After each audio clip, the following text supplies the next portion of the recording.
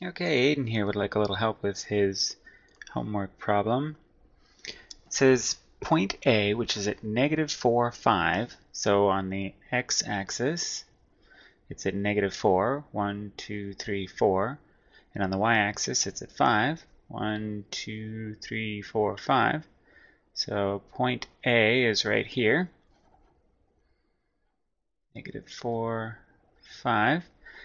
Uh, and point B is in the same plane at negative 4, negative 3. So he's got a point B right here. B, which is negative 4, negative 3. He says he needs to identify two other points on the same line. Okay, so if we had to go left of the origin, one, two, three, four places for each of these, and then one of them was up five points and one of them was down three points, then obviously they must be on the same vertical line because they have the same horizontal location. They're both x equals negative 4. So really, in this case, any other point that has an x location of negative 4 would be on the same line. So there would be one at, for instance, negative 4, negative 2, which would be right here. There would be one at negative 4, 1, which would be right here. Oops, that wouldn't be right there. It'd be one point to the left of that. It'd be right there. and so on. Any other point that has an x-coordinate of negative 4 would be on that same line because that's a vertical line. Let's get just a little bit of practice plotting points here.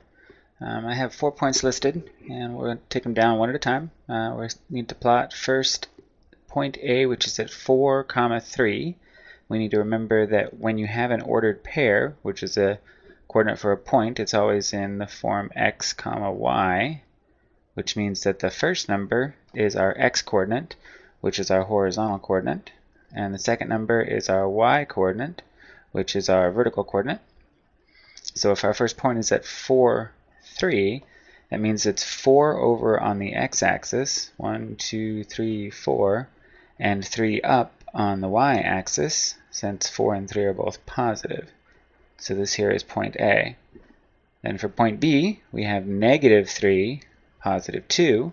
So negative on the x-axis is to the left, so we have 1, 2, 3. And we still have a positive 2 on the y-axis, so that's up 2. So we have point B right there.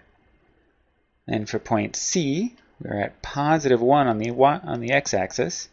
So we go 1 to the right, but we're at negative 5 on the y-axis. So we go down 5 points. So point C would be right there.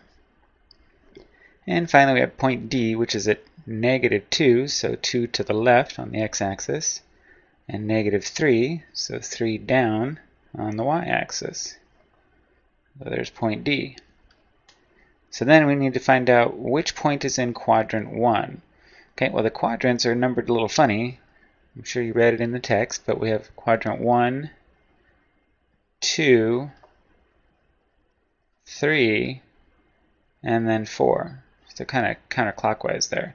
So the point in quadrant 1 would be this one right here, right? Point A. So A would be in quadrant 1.